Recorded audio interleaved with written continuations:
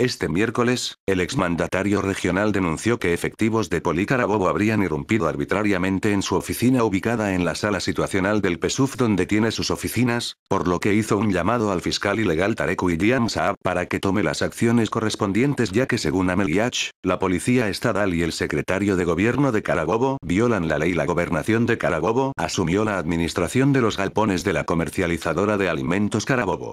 K. Alimca, hasta hoy presidida por Miguel Flores, Autoridad Única de Alimentación en la gestión de Francisco Ameliach, según publica el carabobeño. Asumimos la administración de Alimca de manera responsable, dijo en un tuit el secretario de gobierno, Jesús Santander.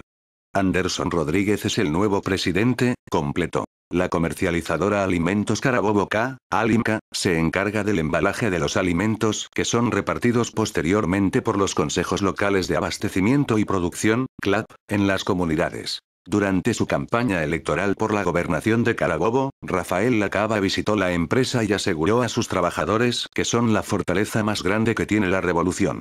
Este jueves publicó varias imágenes donde se evidencia acaparamiento de alimentos. Recorrido en el centro de acopio mixto Batalla de Carabobo en Valencia.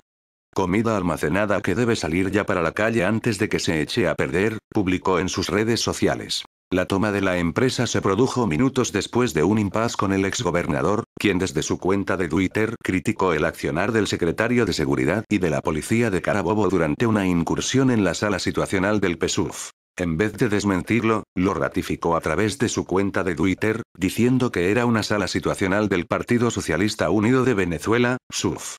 Lo insólito es que después que afirma lo primero, transcurrieron 48 horas para venir a desmentir que tales galpones no le pertenecen al PSUF y entonces, ¿de quién o quiénes son tales toneladas de alimentos? Poco tiempo después se conoció que Miguel Flores, cercano a Ameliach, era sustituido por Anderson Rodríguez. Toneladas de alimentos y medicinas consiguieron funcionarios de la policía de Carabobo en las oficinas y galpones pertenecientes al exgobernador de Carabobo e integrante de la asamblea prostituyente. Sin embargo, la sorpresa que se llevaron los funcionarios, quienes encontraron en un depósito que tenía en el municipio carabobeño de Guacara, estaba contentivo de toneladas de alimentos y medicinas, presuntamente acaparadas. Hasta el momento se desconoce a qué obedece este tipo de acción contra el exgobernador, sin embargo al parecer que entre bomberos se están pisando la manguera, ya que hasta este enchufado del régimen le llegó el carro de Drácula de la cava. En otras palabras, Francisco Ameliats nos ve la cara de pendejos. Si esto fuera otro país, con una democracia en plena libertades y autonomía de poderes, hace tiempo tuviera orden de aprehensión por abuso de poder y mantener en clandestinidad toneladas de alimentos. Es curioso qué diferencia existe entre un comerciante que vende ropa y calzado a la vista de todo el público, pero tiene un espacio escondido para la venta de alimentos, y un político que no informa a las comunidades que tiene en su administración por no decir bajo su poder, una considerable cantidad de productos para el consumo humano, y cuando estos aparecen sale con su cara muy lavada, a decirnos que pertenecen al SUF, Ahora nos preguntamos qué vaina es esa de que una sala situacional de un partido político tiene toneladas de alimentos, cuando el pueblo reclama comida en el medio de una terrible escasez y perversa inflación. ¿Qué ocurriría si semejante cantidad de alimentos se hubiesen encontrado en una sala situacional de cualquier partido de oposición o algún particular, como por ejemplo anexa de empresas polar, sin la debida certificación de origen y guías para la distribución de tales productos?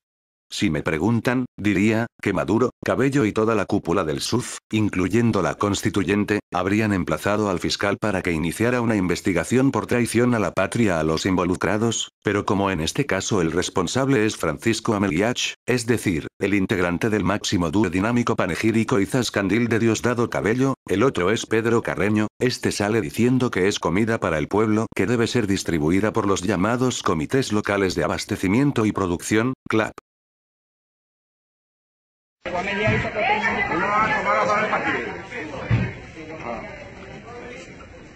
Está que llamen a Santander y que se vean con todos ahora. Aquí arbitrariamente sin ningún tipo de fiscal, sin ningún tipo de... Están tomando la sala del partido, la sala de, de, de, de organización del partido y eso no se puede permitir. Además aquí está mi hijo que sí, yo soy constituyente de la República. La policía de Carabobo al mando del secretario de la Alimentaria, el secretario de la Alimentaria está ahí. No se han retirado. Sáquense la gente está aquí que no tiene que con esto se acabando. Buenas tardes, mi gente. reproduzcan, reproduzcan todos esos videos, todas esas fotos. Ellos hablando de que nos, de que la oposición somos grandes acaparadores y los primeros acaparadores son ellos, bandidos, ladrones, usureros, narcotraficantes. Compartan, compartan todo eso a nivel nacional e internacional, de frente y sin miedo. La Cava, el gobernador La Cava en el estado Carabobo allanando los depósitos de Ameliats. Grandes depósitos llenos de comida. Son varios depósitos, alrededor de 20 depósitos llenos de comida y medicamentos que tiene ahí Amelias. Hombre del Pesú. Y La Cava, hombre del Pesú también lo está allanando. Es una guerra cuchillo que tienen entre los dos.